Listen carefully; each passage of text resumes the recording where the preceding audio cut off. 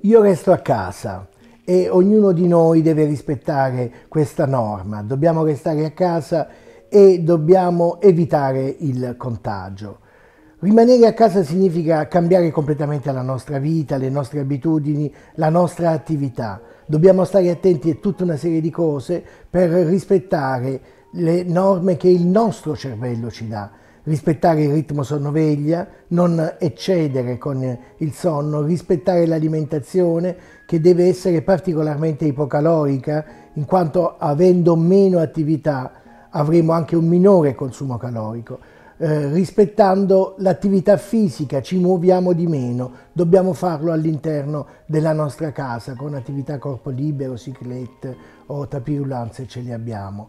Stiamo eh, attenti alle sostanze energizzanti come gli energy drink o eh, attivanti come la caffeina, la cola o la teina, cerchiamo di eh, eh berne il meno eh, possibile.